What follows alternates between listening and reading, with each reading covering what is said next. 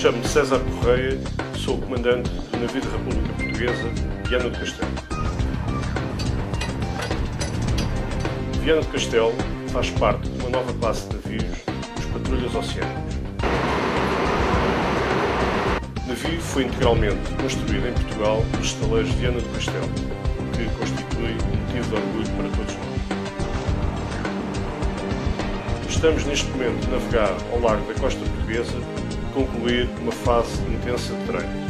Molho exterior 343. Entraremos pela primeira vez na Barra de Lisboa, atracando na base naval, na próxima sexta-feira, dia 29 de abril.